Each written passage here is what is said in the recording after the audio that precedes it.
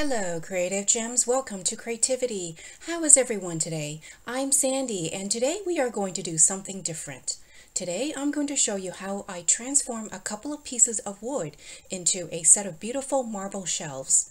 And as a disclaimer, this is my very first time trying this, so we will be doing a bit of experimentation along the way. The technique I will be using today will involve a thinly pointed paintbrush, a sponge, and some Mod Podge. The best part is that this project is very budget friendly and as all materials are available from the Dollar Tree. To begin, we are going to set the wood plank boards on a raised surface. Here you can see I'm just using two rolls of painter tape to set the wood on top of. We will then apply one to two layers of white paint directly onto the wood boards. You can use any acrylic paint or if you happen to have some leftover white paint or primer from the hardware store, that will work fine as well. When applying the paint, make sure you cover all the sides of the wood board, front, back, and all the edges as well. And while we work on that, I would like to take a moment to thank all the returning viewers to my channel for tuning in to today's craft project.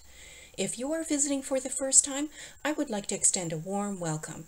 And if you enjoy glam home decor and DIY crafts on a budget, I would love it if you would support my channel by hitting the subscribe button so you can be notified of my future DIY craft videos.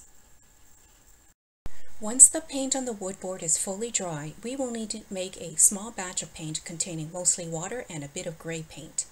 Here I'm using some silver metallic acrylic paint from the dollar store and adding it to a small tin container of water. You'll want to have the mixture to be very liquidy, so make sure you apply only a bit of paint to the water. Use the tip of your paintbrush to stir the mixture so the paint infuses into the water. Then take a small sponge and dab it into the paint water mixture. Squeeze out the excess and then start lightly dabbing the surface area of the wood board. It's better to apply conservatively at first because you can always layer on more as you work through the piece. As you repeat the application of paint water to the board, have a sheet of paper towel handy in case you need to squeeze out the excess from the sponge. Otherwise, you may create too many air bubbles on the wood board, which will take longer to dry. Keep repeating the application of the paint water with your sponge until a first layer is applied across the board.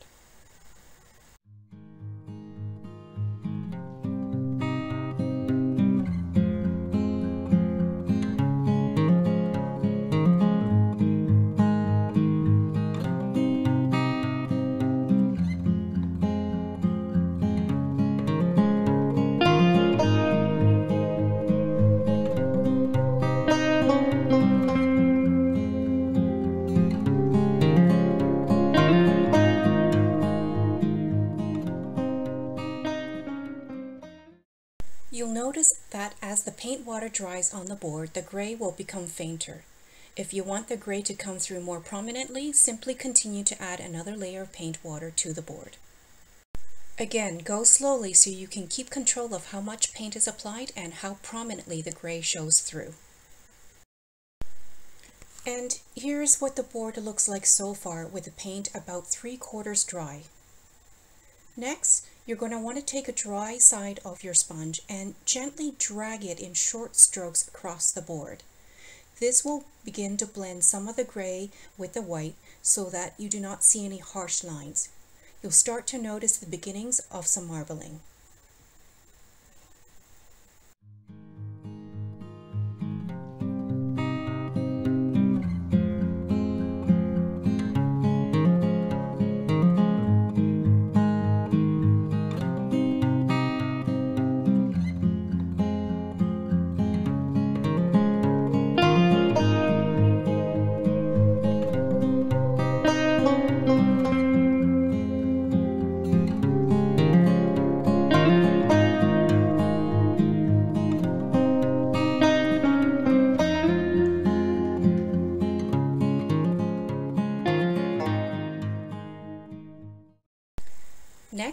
The really fun part.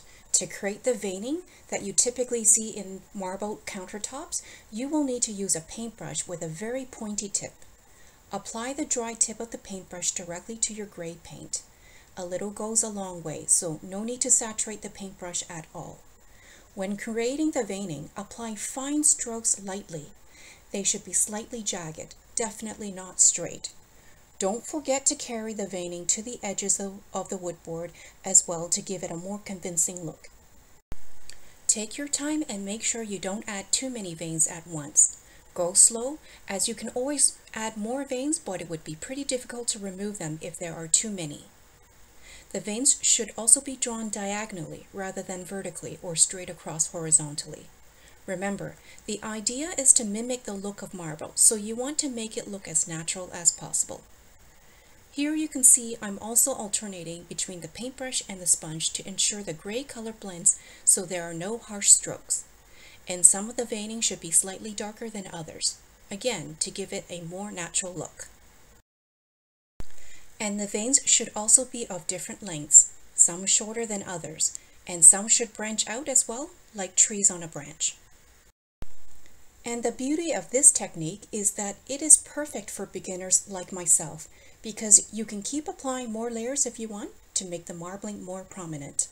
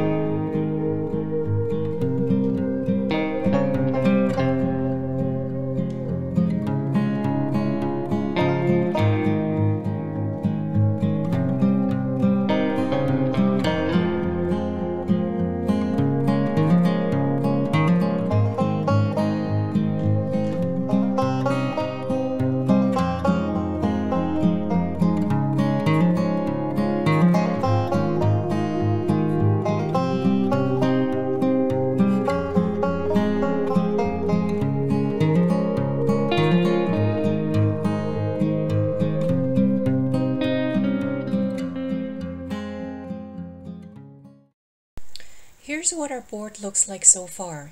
You can already see how similar this wood piece is to marble.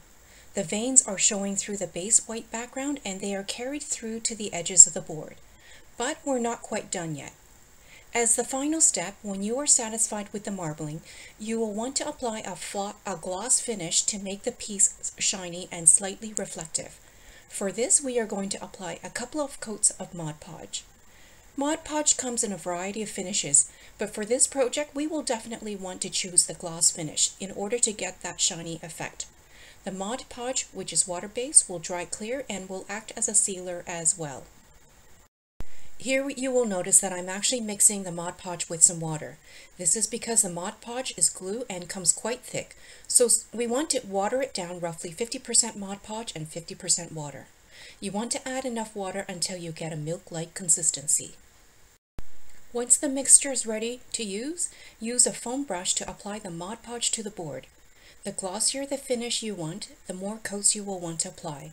But make sure you let each coat dry fully before applying the next coat. For my board, I ended up applying about three coats in total.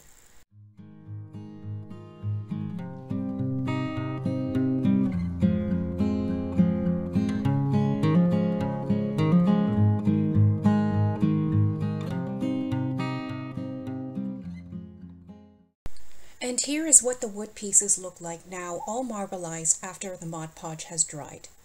You can see with the Mod Podge dried, it really gives the wood pieces the look of a shiny surface, similar to the marble, except this project only cost a few dollars to make.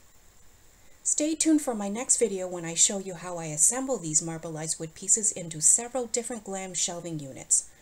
Comment down below and let me know whether you think these wood pieces are convincing as marble shelving.